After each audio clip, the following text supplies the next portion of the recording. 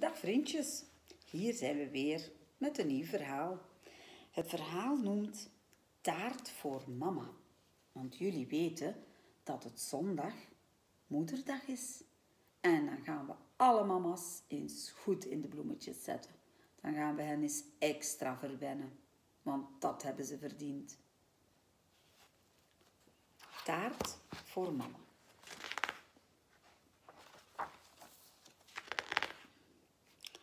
Dat is misschien wel leuk om eens te laten zien.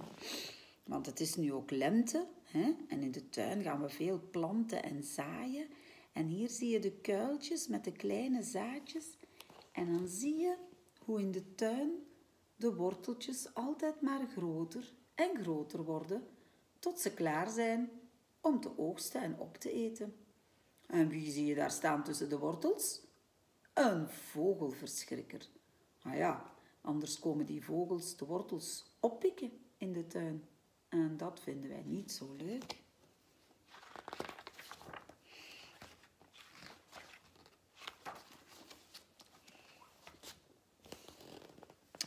Hukkels mama is op reis. Dat was nog voor corona, hè? want nu mogen wij eventjes niet op reis gaan. Maar morgen komt Hukkels mama terug naar huis. De dag gaat vreselijk traag. Hukkel mist zijn mama heel erg. En hier kan je het zien. Hij is niet gelukkig. Hij heeft wel zijn kleine poppetje bij zich, die kan hem wat troosten. Maar gelukkig komt mama morgen weer naar huis. Hukkel springt al vroeg uit zijn bed. Vandaag is het een bijzondere dag. Hoera! Mama komt thuis. Ik maak een verrassing voor haar. Voor de liefste mama van de hele wereld. En kijk eens hoe blij hij is dat mama weer naar huis komt. Worteltaart, dat is het lekkerste wat er bestaat. Kom, popje, we hebben wortels nodig. Vers en veel en lekker.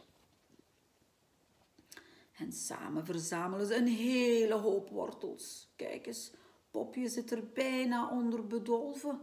Je kan hem bijna niet meer zien.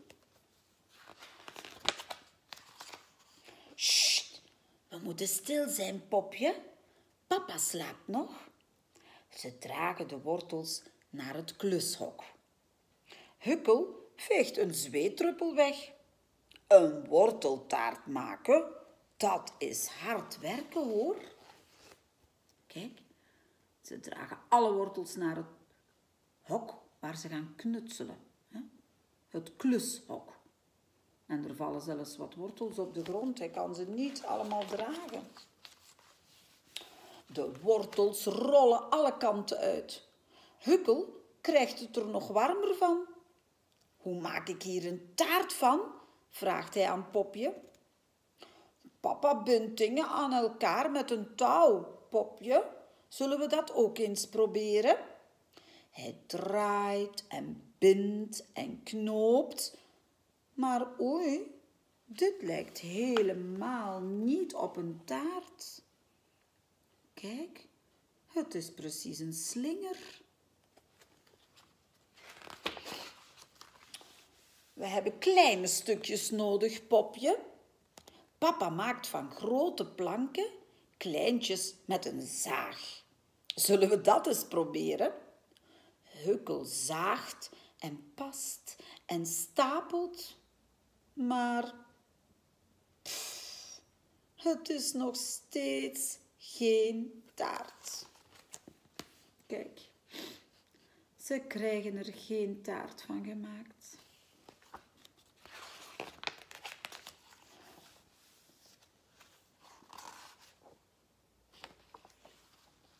Hukkel denkt diep na. Die wortels moeten nog kleiner, popje. Papa slaat dingen plat met een hamer. Zullen we dat dan maar proberen?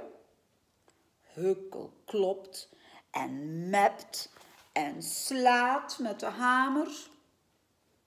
Maar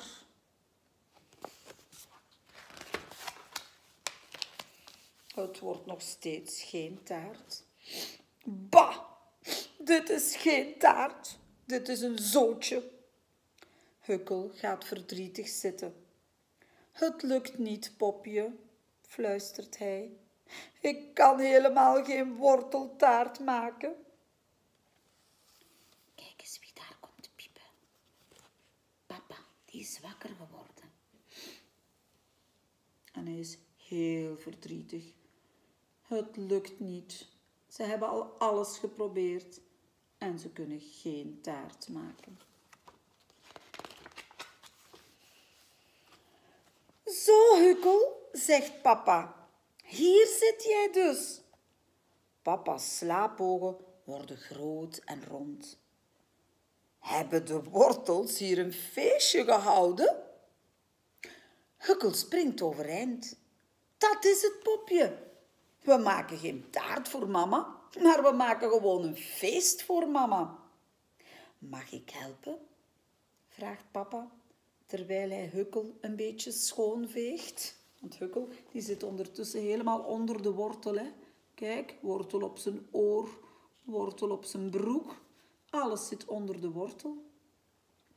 Dus nu beslissen ze maar om een feestje te maken in plaats van een taart. Hukkel, Popje, die maken wortelslingers en zachte wortelmoes. Ze rijgen een ketting en knutselen feesthoedjes. En een wortelneus. Wanneer mama thuis komt, zijn ze net klaar. Wat een geluk. Ze zijn net klaar met alles mooi te versieren en lekkere wortelmoes te maken.